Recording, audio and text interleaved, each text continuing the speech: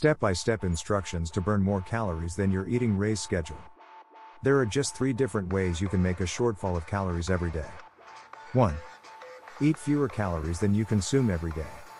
Remember that your body consumes calories the entire day as a feature of your basal metabolic rate, BMR, since it takes energy, calories, for your body to fill essential roles that are vital forever breathing, processing, flowing, thinking, and then some. You should know what your BMR is, so you can gauge the number of calories you consume on a normal day. What's more, you additionally consume a few calories with ordinary day by day exercises like washing, cleaning, strolling, composing, and working out, which uses much more calories every day. So, by just taking in fewer calories every day, that implies fewer overabundance calories you need to consume off.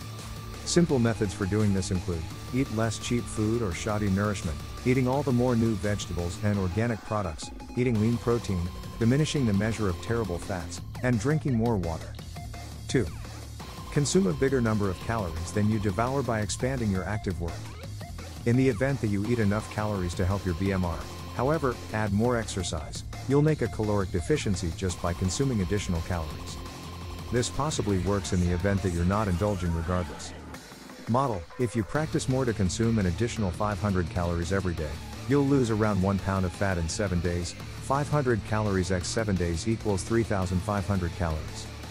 You can exercise more or simply add greater development into your everyday way of life. A few thoughts ride your bicycle walk rather than driving spots, consistently use the stairwell, move around working rather than sitting in a work area, play with your children or canine, do squats while staring at the television. Get innovative with your day, the potential outcomes are huge. 3.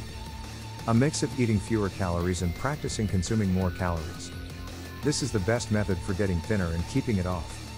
It's a lot more straightforward to make a generous calorie shortage when you consolidate eating less with the practice since you don't need to deny yourself so much or exercise in insane sums.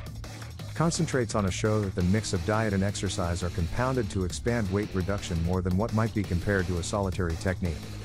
One hypothesis is that the activity expands digestion, which fires up the fat consuming much more. Model If you cut 200 calories every day from your eating regimen and consume 300 calories per day by working out, you'd lose around 1 pound each week. Contrast that with different models above, so you're shedding pounds at about a similar rate without rolling out such outrageous improvements to your eating regimen or exercise schedule. The way into any fruitful weight reduction is consistency. Over the long haul, your calorie shortage will add up, and you will lose the additional weight. In any case, make sure to be really precise with your caloric admission and exercise in light of the fact that after all, it is a numerical statement. Note that albeit this seems like basic math, our bodies are in reality exceptionally convoluted.